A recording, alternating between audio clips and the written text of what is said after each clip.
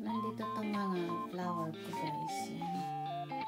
Mga binitas kong flower. Yan ang i-aayos ko ngayon.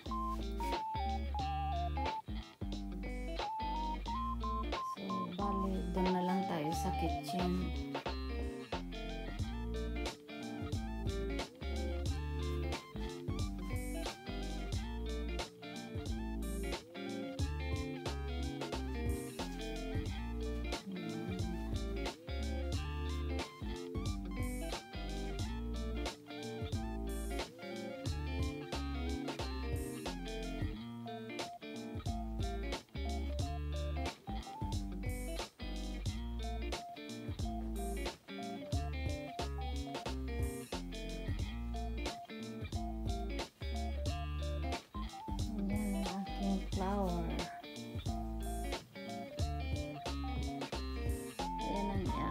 Ko ngayon.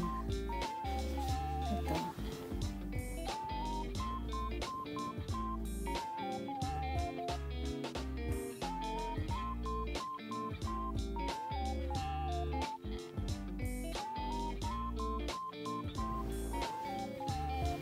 Ayan, iba-ibang kulay ng